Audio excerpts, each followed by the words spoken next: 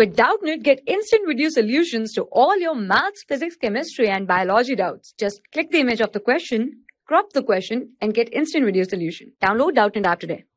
Okay, so the given question here we have is the general solution of the equation tan 3x is equals to what tan 5x is. We have to find the general solution for this equation here I have. Okay, so first of all, this is my solution part here. Okay, it says that tan 3x equals to what tan 5x. Okay, so first of all, we know that when my tan theta is equals to what tan of alpha right? So in that case what is my general solution?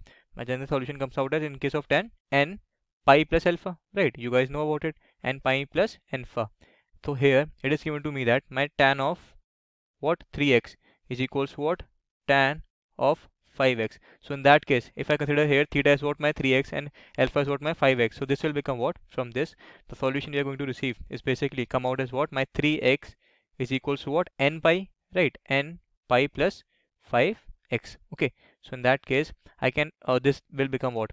X value will become my basically x value will be 2 times of x equals to what? Minus of n pi right? If I put this n pi on the LHS side and this 3x to the RHS side this will be what? Positive of 2x and this is what? Negative of minus n pi.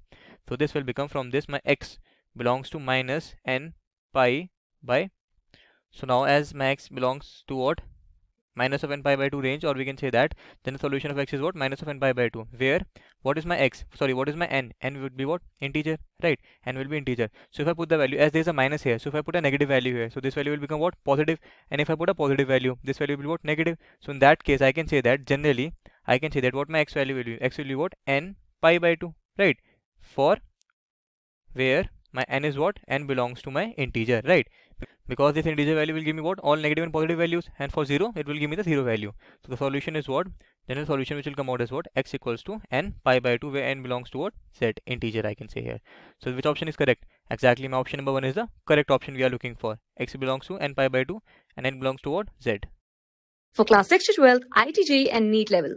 Trusted by more than 5 crore students. Download Doubtnut app today